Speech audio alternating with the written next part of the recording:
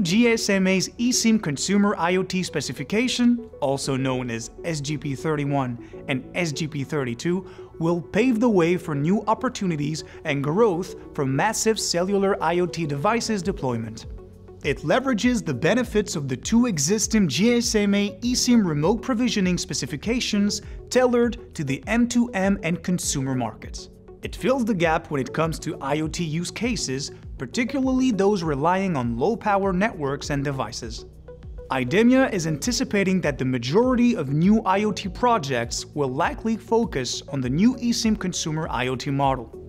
Nevertheless, the M2M specification will remain in use in certain industries, particularly for deployed devices with a lengthy field life, leading to the coexistence of these technologies.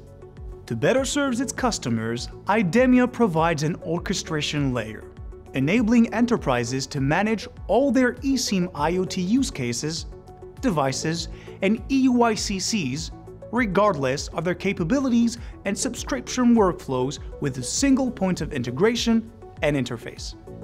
In addition, IDEMIA provides end-to-end solutions from EUICC to servers to address the demands of any type of IoT device, including low-cost and low-power devices.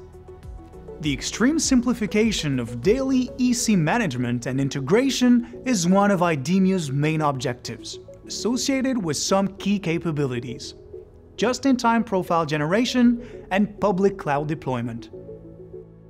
Just-in-time profile generation enables mobile operators to have a single eSIM profile ordering mechanism for all devices and EUICCs regardless of the capabilities.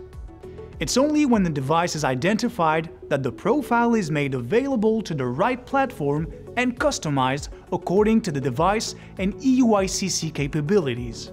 On the other hand, deploying IDEMIA's eSIM solutions in the public cloud addresses the connectivity needs of billions of IoT devices with the ability to scale up or down depending on the business activity.